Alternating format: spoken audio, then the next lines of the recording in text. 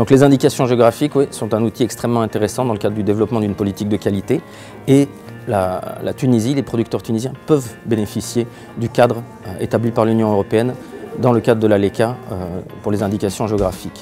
Donc il y a trois avantages énormes pour les indications géographiques qui sont des bénéfices pour les producteurs, des bénéfices pour les consommateurs et des bénéfices pour la collectivité. Bénéfices pour les producteurs puisqu'ils permettent de gagner entre 20 et 50% de marge supplémentaire par rapport à un produit qui n'est pas labellisé indication géographique. Bénéfices pour les consommateurs, puisque les consommateurs redeviennent consommateurs. Ils trouvent un sens dans leur acte de consommation en achetant un produit qui a une histoire, un produit qui vient d'un endroit déterminé, qui a des caractéristiques spécifiques et pour lesquelles ils sont prêts à payer plus cher que pour un produit standard. Et enfin pour la collectivité, puisque les indications géographiques étant originaires d'un bassin déterminé, d'un bassin géographique, elles ne peuvent pas être délocalisées. Donc elles permettent le maintien d'emplois, notamment dans des zones rurales défavorisées ou peu développées.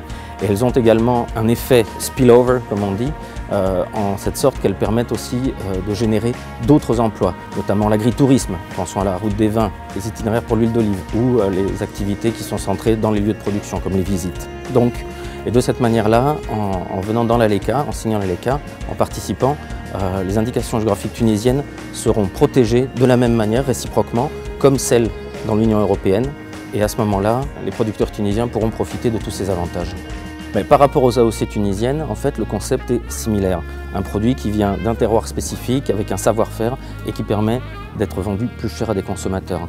Euh, la seule chose, c'est qu'il va y avoir en fait une reconnaissance, une équivalence entre les AOC de l'Union européenne et les AOC tunisiennes, qui vont de cette manière devenir protégés de la même manière. Ça va être les mêmes produits qui vont jouir des mêmes bénéfices. Grâce aux accords de libre-échange, les produits tunisiens pourront trouver un nouvel accès, notamment sur le marché européen.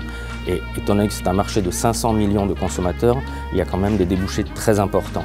En plus, le labeling, la standardisation, indication géographique, euh, permet de pénétrer des nouveaux marchés parce que les consommateurs sont demandeurs de tels produits.